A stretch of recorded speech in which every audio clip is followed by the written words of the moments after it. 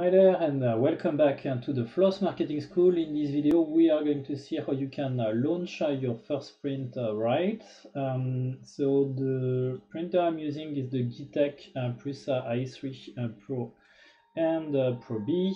So that's how my 3D printer look like and I have to say that um, at the beginning after three days of mounting the full 3D printer and uh, putting the motors and everything, including the software within it.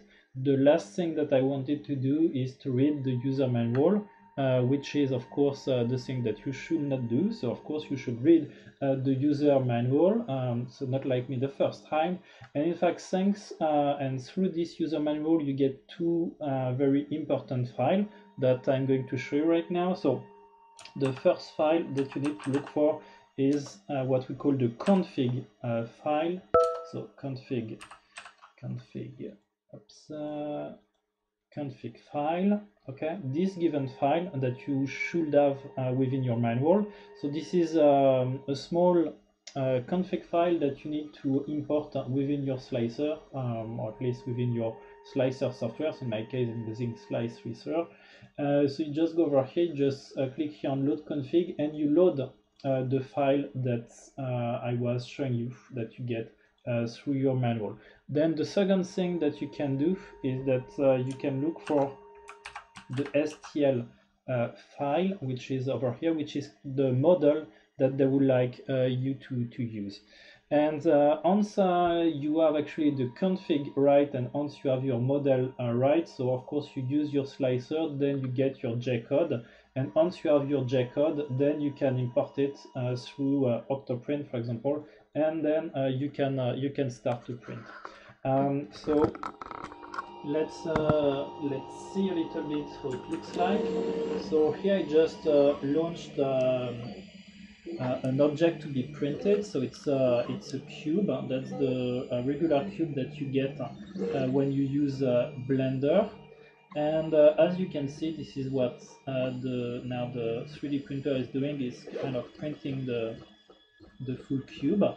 Uh, just to let you know that the first time that I tried to print, uh, I didn't get it right because the extruder, so which is the following one, which depends of the Z axis, was going uh, too far and makes actually all my uh, all my printers uh, the wrong way. So if it happens to you, what you need to do is that you need to uh, go back uh, within Octoprint and here you get the um, G-code uh, viewer and within the G-code viewer you can in fact send some instruction and the instruction that you need to send are okay please um, change the way the z-axis is uh, is working. So in order to know uh, what is the right command to send, just need to look through forums in order to say, okay, please, instead of uh, moving, let's say like, um, I don't know, like uh, 30 millimeters up, you just move by one millimeter and then it will do the,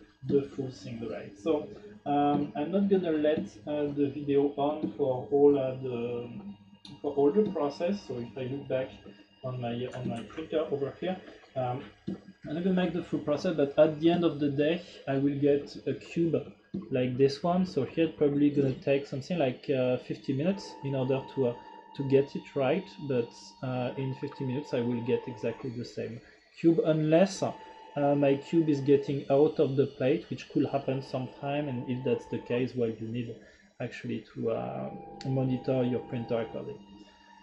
And that's it uh, for today, so hope you enjoyed this video, thanks for watching.